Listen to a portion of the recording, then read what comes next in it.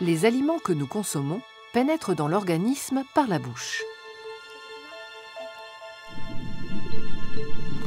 Ils sont mastiqués par les dents et commencent leur transformation progressive sous l'action d'enzymes comme l'amylase, contenue ici dans les sucs digestifs libérés par les glandes salivaires.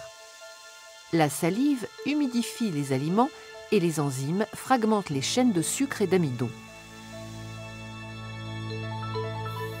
Les aliments, transformés alors en bol alimentaire, sont poussés dans l'œsophage par les mouvements de la langue, puis dans l'estomac par contraction de l'œsophage. La digestion se poursuit dans l'estomac, dans lequel les aliments vont séjourner de 1 à 4 heures. Ils sont d'abord brassés et continuent leur transformation régulière en bouillie. Les enzymes des sucs digestifs découpent en partie les molécules des différentes catégories d'aliments. C'est dans l'intestin grêle, cylindre de 7 à 8 mètres de long, que se forment les nutriments.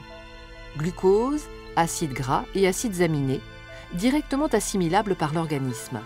Et c'est dans l'intestin grêle qu'ils vont passer dans le sang.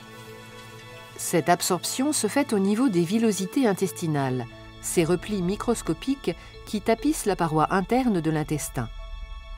Leur nombre, très élevé, près de 10 millions, permet à l'intestin d'offrir une surface d'absorption avoisinant les 250 mètres carrés.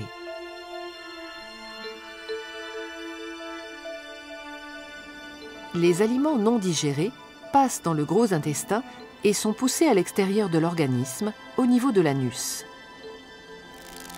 Ce sont les nutriments, qui proviennent, comme on l'a vu, de la digestion des aliments, qui vont fournir l'énergie aux cellules du corps et permettre le bon fonctionnement des organes.